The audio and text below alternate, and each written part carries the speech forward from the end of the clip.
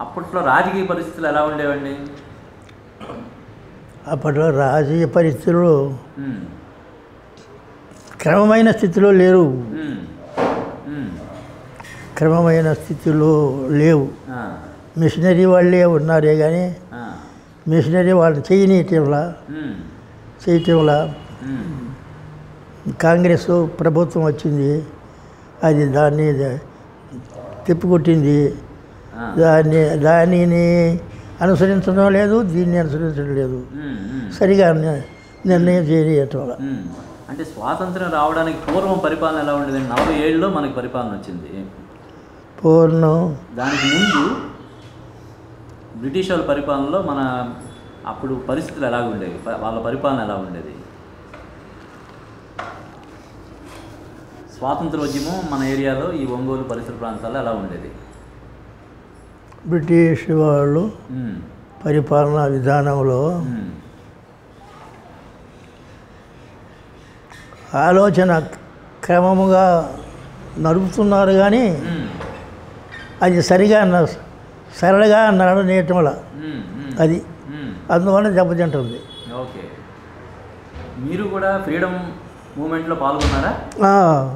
సత్యాగ్రహంలో. Participate చేశారు ఎవరెవరండి అప్పట్లో మీతో పాటు వేరే కూడా మాతోటి వాళ్ళు ఉండే సత్యనారాయణరాజు నాదెల వెంకటేశ్వర్లు పుల్లెల రత్తయ్య బాచెని సుబ్బారావు ఎమ్మెల్సీ. ఎమ్మెల్సీ బాచెని సుబ్బారావు గారని. ఆయన ఎమ్మెల్సీ. వాళ్ళు నా స్నేహితులు. ముందు మా ఊరు మా ఊరు ప్రక్కనే. చింతకుంపల.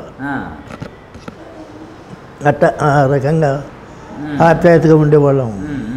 ఒకరికొకరు అన్యాయంగా అంటే కాదు ఈ ఉద్యమంలో ఎక్కువ మంది పార్టిసిపేట్ చేసేవాళ్ళ లేదంటే భయపడి ఎందుకులే మనకెందుకని? భయపడేది ఏమీ లేదు. ఎవరు భయపడరు భయపడే ప్రశ్నే లేదు. స్వాతంత్రం రావాల్సిందే రావాల్సిందే అని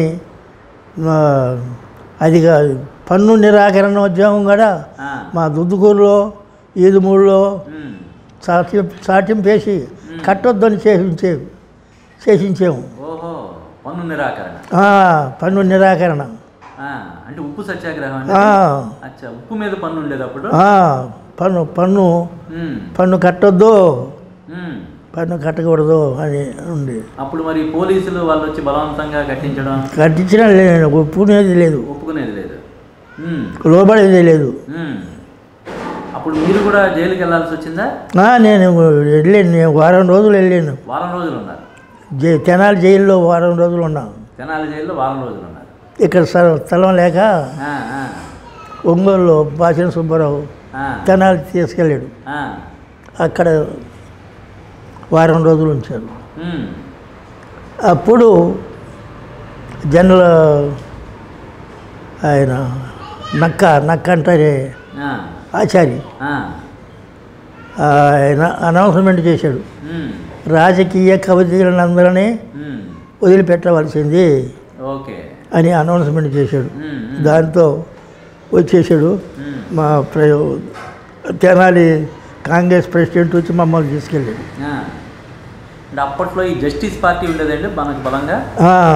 బలంగా ఉండేది. కాంగ్రెస్ పార్టీ కాకుండా జస్టిస్ పార్టీ ఉండేదా? ఉండేది. ఎవరు దానికి జస్టిస్ పార్టీకి నాయకత్వం ఎవరు వహించేవాళ్ళు? బాగా తెలియదు. మీకు జాబ్ వచ్చినప్పటికి మీ జీతం ఎలా ఉండేది? నలభై రూపాయలు. నలభై రూపాయలు. దాదాపు నలభై రూపాయలతో స్టార్ట్ అయింది. నలభై రూపాయలతో స్టార్ట్ అయింది. చివరి చివరిగా ఎంత తీసుకున్నారు మీరు? రిటైర్ అయ్యేటప్పటికి? గుర్తులేదండి ఆ, ఇప్పుడు మీకు టీచర్గా పెన్షన్ వస్తుంది ఫ్రీడమ్ ఫైటర్ పెన్షన్ కూడా వస్తుందా? ఫేడరల్ పెట్టి ఆపేశారు. ఆఫ్ చేస్తారు? ఓహో. చాలా సంవత్సరాలు తీసుకున్నాను. తర్వాత? ఆపేశారు. మూడు మూడు ఉండకూడదు ఒకరికి. ఒకరికి మూడు. నాది ఆ, నా ఫ్యామిలీది. ఆ. Freedom fighter. Federal fighter. మూడు ఉండకూడదు ఒక్కరికి.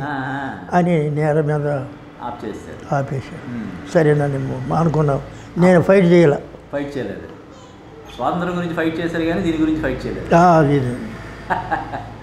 అంటే అప్పట్లో ఎలా ఉండేది సార్? రూపాయి అంటే ఇప్పుడు రూపాయికి వాల్యూ లేకుండా అయిపోయింది.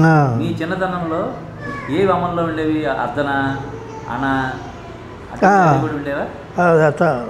అర్ధన అన ప- పావల. బేడ అట్లా ఉండేది. ఉండేది. అంత అవి అయినా అంత విలువగా ఉండేవి. అర్ధనా కూడా చాలా విలువైంది. అంత విలువగా ఉండేవి. ఇప్పుడు ఇప్పుడు లేదు. మీ చిన్నతనంలో కేజీ బియ్యం ఎంత ఉండేది?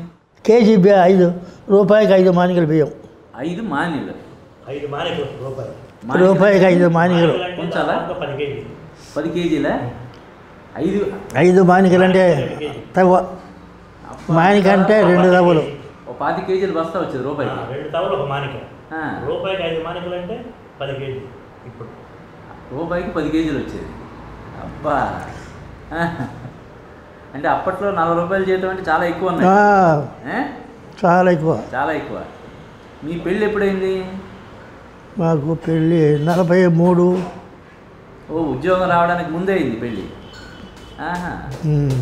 ఓకే. తర్వాత మేడం కూడా తర్వాత ఉద్యోగం వచ్చిందా? అయిన తర్వాత చదువుకున్నారు ఆవిడ కూడా? ఆమె కూడా ముందుగానే ఉద్యోగం వచ్చింది. తర్వాత కంటిన్యూ అయింది. ఆవిడ కూడా మీతో పాటు సమానంగా ఎయిత్ ఆ, ఫామ్ మిషన్ స్కూల్ కదా. Missionary school. అందువల్ల మిషన్ మేనేజ్మెంట్లో.